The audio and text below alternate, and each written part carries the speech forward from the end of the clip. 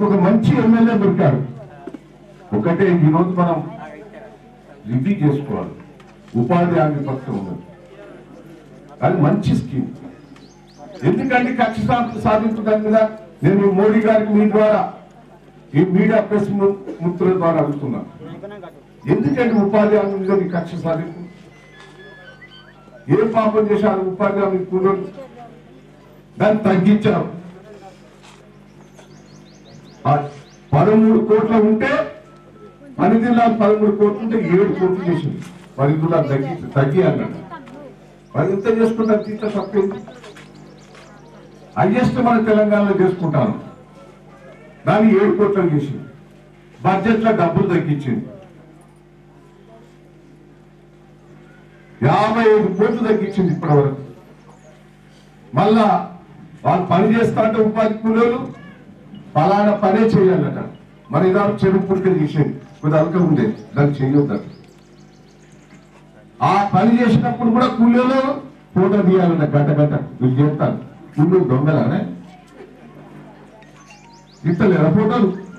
ఉపాధి హామీ కూలీలు ఎంతమంది ఉన్నారు చెప్తే ఇక్కడ కదిలే అందరూ రైతులు కూడా చెప్తాను ఇప్పుడు. ఫోటో తీస్తారా ఆ ఫోటో చూపెట్టాలట దొంగలా మనం? ఎంత మోసం చేస్తాంది బీజేపీ పార్టీ? వాళ్ళకు ఇంకా ఇంకో విషయం కూడా వినాలి మీరు. నేను ప్రెస్ మీడియా వాళ్ళకి చెప్తున్నా ఇవాళ మోడీ గారు గెలిచినట్టు చేయండి. కొద్దిగా కళ్ళు చెప్తాడు వాళ్ళకి గడ్డపార పట్టలు ఇది వాళ్ళకి ఇచ్చేది. ఇచ్చేది అయ్యేదా బీజేపీ వచ్చినాక బంద్ పెట్టి పాప గడ్డపార తట్ట ఇంత కూడా ఏదో ముసుకుపోయిందా అది కూడా బంద్ చేయించింది. మేము రాసినాం. రైతులు ఇబ్బంది పడతాడు మిర్చేందుకు పట్టేందుకు నాటు పెట్టేందుకు దీని మిషన్ దొరుకుతలేవు. రైతులకు అనుసంధానం చేయమని అసెంబ్లీలో తీర్మానం చేసి కేంద్ర ప్రభుత్వం దగ్గరికి నేను పోయినా పాపం కేసీఆర్ గారు మూడు సార్లు పోయి ఇది కూడా చెప్పినాం. సగం కూలీలు కట్టుకుంటారు సగం రైతు కట్టుకుంటాడు సగం ఉపాధి హామీ పథకంలో కడదాం. నో నో ఇంతవరకు సమాధానం లేదు. ఏం మూసుకపోయింది? రైతులు బాగుపడతారు కదా అది వద్దంటారు. రెండోది ఇలాంటి మెడికల్ కిట్ ఇచ్చేది గుర్తురా మీకు అది బంద్ పెట్టింది. టెంట్ వేసేది అది బంద్ పెట్టింది. అంటే ఎంత గోస్ అంటే ఉపాధి హామీ కూడా మీద కక్ష సాధింప వాళ్ళు చేసిన పనులన్నీ తప్పుడు అంటే మరి చేయొచ్చు చేయ ఏమైనా తప్పుడు పని చేసినంటే చేయలేదంటది అదే తిరిగా రైతులు కల్లారు. పాప కల్లారు చేసుకోవాలి. రోడ్ల మీద పోసుకుంటారని ముఖ్యమంత్రి గారు కల్లాలు చేస్తే మనం మొదలు చెప్పాలి కల్లాలు మీ ఇవ్వమని చేసిన దాన్ని మన బంద్ పెట్టింది. బంద్ పెట్టి రైతు రైతుల మీద ఎంత కక్ష సాగు మీద కూలీల మీద ఎంత కక్ష సాగు చేస్తున్నదో మీరు అర్థం చేసుకోవాలి. ఆ కల్లాని బంద్ చేయమన్నది వెయ్యి కోట్లు ఆపింది. కూలీల డబ్బులు ఆపింది. ఇప్పుడు గ్రామ పంచాయతీ చెందే ఉంటారు. మాకు డబ్బులు రాలేదు డబ్బులు వాళ్ళ రాస్తే కొంత డబ్బులు రాలేదు. ఉపాధి హామీ పని చేసినవన్నీ డబ్బులన్నీ ఎనిమిది వందల కోట్లు ఆగినాయి రైతుల కళ్ళాల పైసలు ఇవ్వమన్నారు పోనీ ఇవ్వకపోతే ఇవ్వకొని ఏం చేయమంటారు చెప్పు? మీరు కట్టండి పైసలు మన నూట యాభై మూడు కోట్లు మీకు కట్టించడం కేంద్రం పోయి రాష్ట్ర ప్రభుత్వం తరఫున. కట్టిన ఆరు నెలల నుంచి రెండు వందల కోట్లు ఆగింది ఎంత ఘోరండి దాన్ని ఎట్టి పరిస్థితుల్లో ఉపాధి హామీ పక్కన ఎత్తేయాలి. దానికోసం మోడీ గారి గారు జవాబు చెప్పవలసిన బాధ్యత మోడీ గారు ఉన్నదని కూడా ఈ సందర్భంగా మీకు తెలియజేస్తుంది ఇంత ఘోరం అన్ని కూలీల మీద రైతులకు అన్న అనుసంధానం చేయమంటే చేయం రైతులను గోస పెడతాం. కూలీలను గోస పెడతాం. ఎవరికి నువ్వు చేశాడు ఒక ఆదాయం ఒక వ్యాపారస్తులకు తప్ప బడా కాంట్రాక్టర్లకు తప్ప పేదవాళ్ళకు ఉన్నాము బీజేపీ పేద చేస్తానన్నది గట్టిగా ఈ విధానం వినిపించాలని కూడా ఈ సందర్భంగా నేను తెలియజేస్తుంది ఈ రోజు రాష్ట్ర వ్యాప్తంగా ఉపాధి హామీ కూలీలు ఇక్కడి నుంచే మొదలు కావాలి. ఉపాధి హామీ కూలీలు ఇక్కడి నుంచే కేంద్రం దిగొచ్చే వరకు పోరాటం చేయాలి. రైతులకు అనుసంధానం చేయాలి. రైతులకు కావాల్సిన గడ్డపాడు తట్టలు ఇవ్వాలి కూలికి సంబంధించిన ఆ నిబంధనలన్నీ తీసి పడేయాలి ఎంత పని చేసుకుంటారు? ఏంటంటే రేటు పెంచుకున్నాం నువ్వు పెట్రోల్ ధర పెంచాం డీజిల్ ధర పెంచాం గ్యాస్ ధర పెంచాం. నాలుగు వందలు ఉన్న గ్యాస్లో పన్నెండు వందల యాభై చేసినాం. ఆ పన్నెండు వందల యాభై చేసిన దాన్ని అన్ని రేట్లు పెంచే వరకు సామాన్య వస్తువులు దొరుకుతాయో? పెరిగా మరి ఎంత? రాష్ట్ర ప్రభుత్వం ఎంత సబ్సిడీ ఇచ్చినా రేట్లను పెరుగుతాయి దేశమంతా పెరిగినాయి. మరి దేశం పెరిగినప్పుడు కూలీ రేట్లు కూడా పెరగాలి కదా. వంద రూపాయలు పెంచమనంటే పదిహేను రూపాయలు పిచ్చ ఉంచినట్టు పెంచారు మూడు వందల తొంభై ఉంటే నేను ఒక్కటే మిమ్మల్ని అందరినీ రిక్వెస్ట్ చేస్తున్నాను. ఈరోజు మన అందరం కూడా పోరాటానికి సిద్ధం కావాలి కేంద్రం మీద. మనకు రావాల్సిన నిధులు వస్తలేవు. కేంద్రం నుంచి వచ్చే నిధులు ఏది వస్తలేవు? ఇలా మోడీ గారు వచ్చి ఒక షో కూడా చేస్తాడు. సిగ్గున్నదా మన మన రాష్ట్రానికి కేంద్ర ప్రభుత్వం ఇవ్వవలసినాయి గిరిజన యూనివర్సిటీ ఇయ్యలే. కోచ్ ఫ్యాక్టరీ ఇయ్యలే. బయ్యారం ఫ్యాక్టరీ ఇయ్యలే. ఏది కూడా ఇయ్యలే. అన్ని అక్షరం పెట్టి ఉపాధి హామీ పక్కన ఎత్తేసే ప్రతి ఉపాధి హామీ పక్కన ఎత్తేస్తే ఊకుందామా ఊకుందామా ఊకుందామా పోరాటాలు చేయాలి. నేను ఈ ఈ రోజు నుంచే మోడీ గారికి బుద్ధి వచ్చినట్టు కేంద్ర ప్రభుత్వానికి కళ్ళు తెరిచినట్టు రైతులు ఉపాధి హామీ పక్కన అనుసంధానం చేస్తూ కూలి వాళ్ళకి అన్యాయం కొట్టగొట్టకుండా మన అందరం కూడా పోరాటం చేయవలసిన బాధ్యత మన అందరి మీద ఉండాలని కూడా ఈ సందర్భంగా ఇక్కడి నుంచే నాంది పలుకుతాం ఇది రాష్ట్ర వ్యాప్తంగా రేపు నుంచి ఉద్యమిస్తామని కూడా ఈ సందర్భంగా తెలియజేస్తూ బీఆర్ఎస్ తెలంగాణ అసెంబ్లీ తీర్మానం చేసి ఒక రాష్ట్ర ప్రభుత్వంగా కేంద్రానికి తీర్మానాన్ని పంపిన ఆ తీర్మానాన్ని తుంగలో తొక్కి మనకి ఏమాత్రం అనుమతులు ఇవ్వకుండా వ్యవసాయం చేసే ప్రతి రైతు కూడా మనం లబ్ధి చేకూర్చేటువంటి పథకం ఎండాకాలం పని మీద ఆధారపడేటువంటి ప్రతి పేదోళ్ళకి మరింత కూలీ గిట్టేటువంటి కార్యక్రమం మరి కేసీఆర్ గారు ఆలోచించిన మనకు అనుమతులు ఇవ్వని కేంద్ర ప్రభుత్వాన్ని మెడలు విరిచేటువంటి ప్రజల డిమాండ్ ఏందో రైతుల కూలీల డిమాండ్ ఏందో ఈ దేశాన్ని నడిపే భారతీయ జనతా పార్టీకి బుద్ధి రావాలి. నరేంద్ర మోడీ గారు దిగి రావాలి. ఈ రైతుల కూలీల డిమాండ్లు గౌరవించాలని చెప్పి ఇవాళ ప్రత్యేకంగా ఉత్తర యుద్ధం కార్యక్రమం మమ్మదాపురం వేదిక నుంచి ఇవాళ రెండు లక్షల ఉత్తరాలు నష్టపేట నియోజకవర్గంలోని ఉపాధి హామీ కూలీలు జాబ్ కార్డ్ హోల్డర్స్ అదేవిధంగా మన సన్న చిన్నకారు రైతులందరూ కూడా ఇవాళ ఉత్తరాలు రాసే కార్యక్రమానికి ఇవాళ శ్రీకారం చుట్టడానికి మన దగ్గరికి ఇచ్చేసినటువంటి సంబంధిత శాఖ మన పంచాయరాజ్ గ్రామీణాభివృద్ధి శాఖ మంత్రి గారు మన అభివృద్ధి ప్రదాత ఈ గ్రామం ఈ మండలానికి చరిత్రలో నిలబడేటువంటి నిధులు కేసీఆర్ గారు వారి నాయకత్వంలో ఉన్నటువంటి మంత్రిగా వారు మొదటిసారి మంత్రి అయినా నేను మొదటిసారి ఎమ్మెల్యే అయినా ఈ మండలం చరిత్రలో నిలబడే అభివృద్ధికి నిధులు ఇచ్చి ఇవాళ కూడా దాదాపు ఆరున్నర కోట్ల రూపాయలు ఇవాళ అభివృద్ధి నిధులకు శంకుస్థాపన కూడా చేయడానికి వచ్చేసినటువంటి గౌరవనీయులు దయాకర్ గారికి మీ అందరి చెప్పండి ద్వారా స్వాగతం సుస్వాగతం. ముఖ్యంగా మిత్రులారా ఇవాళ జరుగుతున్నటువంటి కార్యక్రమంలో నాతో పాటు పాల్గొన్నటువంటి మన మండల పార్టీ అధ్యక్షులు రాజేశ్వర్ గారు జిల్లా పరిషత్ వైస్ చైర్మన్ శ్రీనివాస్ గారు మన ఎంపీపీ గారు కోమల భద్రయ్య గారు మన సొసైటీ చైర్మన్ మైపాల్ అదేవిధంగా గ్రామ మన ఎంపీటీసీ గారు గ్రామ పార్టీ అధ్యక్షులు అదేవిధంగా మరి ఇతర గ్రామాల నుంచి వచ్చినటువంటి ఎంపీటీ సభ్యులు సర్పంచులు ప్రజాప్రతిలు వరంగల్ నుంచి నర్సంపల్లి తెచ్చిన పత్రికా సోదరులు కుక్కడి సోదరులు అందరికీ కూడా మరొకసారి నమస్కారం తెలియజేస్తా ఉన్నాను. ఇవాళ జరిగేటువంటి కార్యక్రమం ఏ బాబు? ఇవాళ జరిగేటువంటి కార్యక్రమం ఐదు సంవత్సరాల క్రితమే తెలంగాణ అసెంబ్లీ తీర్మానం చేసింది. తెలంగాణలో ఉన్నటువంటి ఉపాధి హామీ కూలీల పొట్టగొట్టద్దు. వారి కూలి గిట్టడం లేదు. కూలి పెంచాలి. పెంచడం కాకుండా ఇలా మమ్మదాపురం గ్రామంలో నర్సంపేట నియోజకవర్గంలో తెలంగాణ రాష్ట్రంలో ఉన్నటువంటి ప్రతి ఎకరా భూమి ఉన్నటువంటి రైతన్నకు వంద కూలి దినాలు కేటాయించాలి.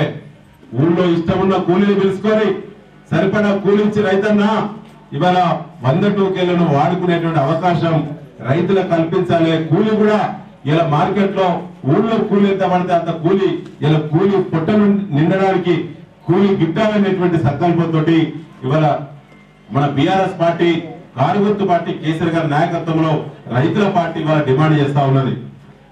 ఇవాళ ఈ దీనికి సంబంధించి ఇవాళ డిమాండ్ మనం చేస్తా ఉంటే ఇవాళ ఈ రాష్ట్రంలో మరో గంటలో అడుగుపెట్టే నరేంద్ర మోడీ గారు సమాధానం చెప్పాలి.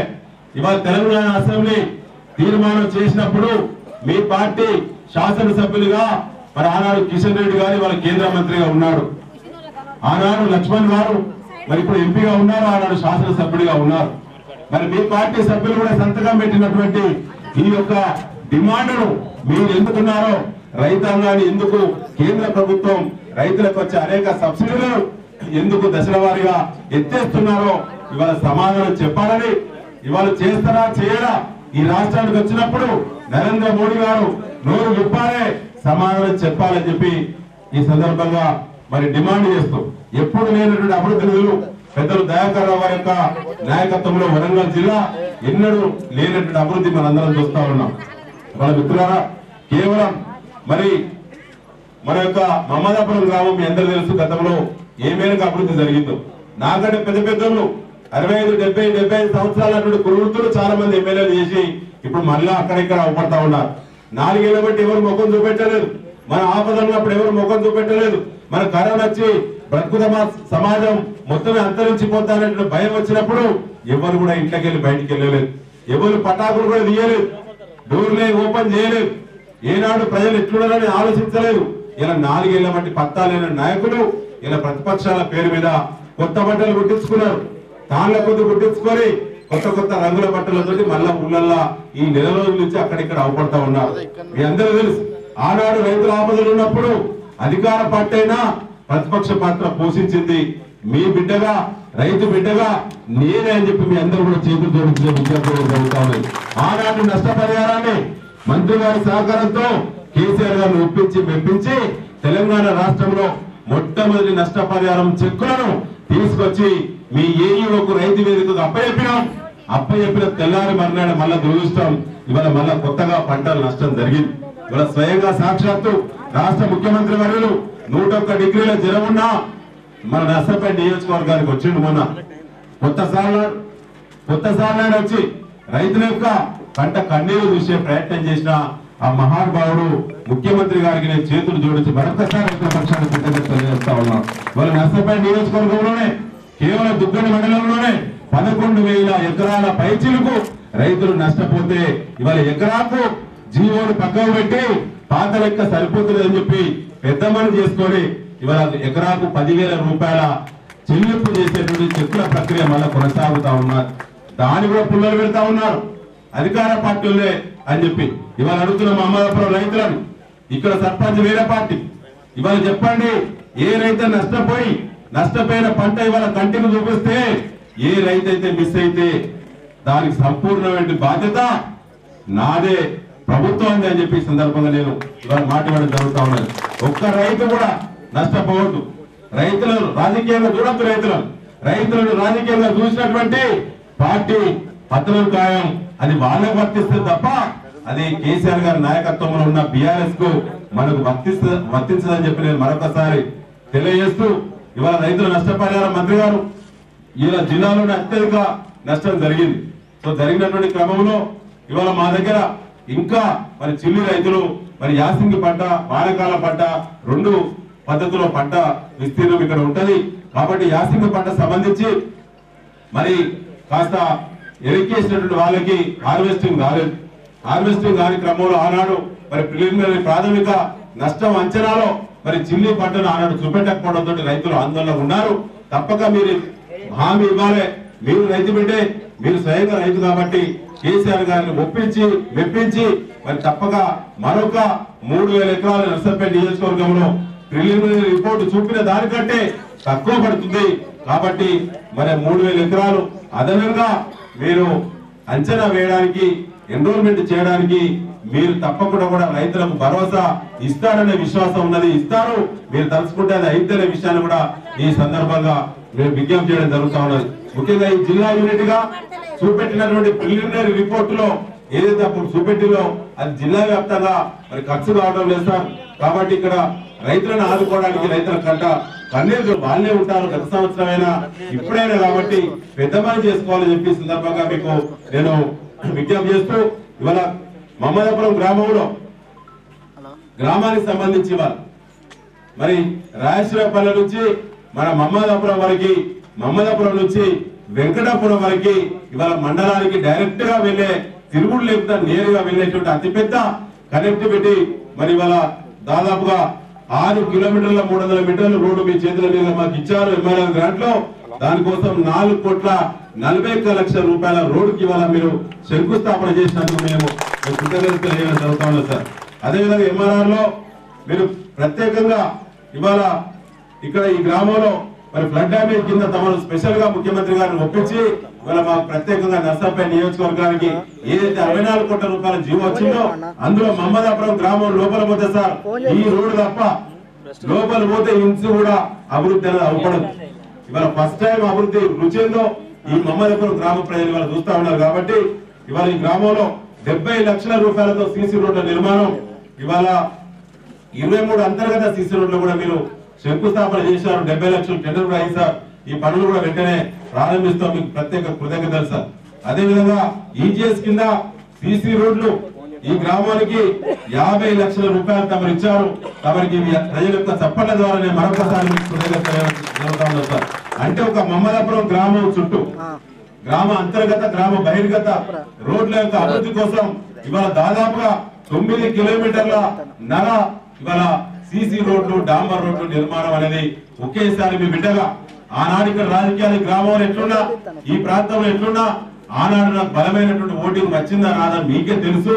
అయినా ఏది కూడా మనసులో పెట్టుకోకుండా ఇలా సర్పంచ్ ఈ పార్టీ ఆ పార్టీ అనే చర్చ లేకుండా ఇవాళ పెద్ద పని చేసుకొని ఇవాళ ఈ గ్రామాల అభివృద్ధి అనేటువంటిది మొట్టమొదటిసారి చేస్తున్నటువంటి మీ బిడ్డగా మీ ఆశీర్వాదం కావాలని చెప్పి నేను చూసి మరొకసారి విజ్ఞప్తి చేయడం జరుగుతా ఉన్నది. ఇది కాక మిత్రులారా దాదాపు ఐదు కోట్ల అరవై ఒక్క లక్షల రూపాయలు సార్. ఈ గ్రామం లోపల గ్రామం చుట్టూ సార్.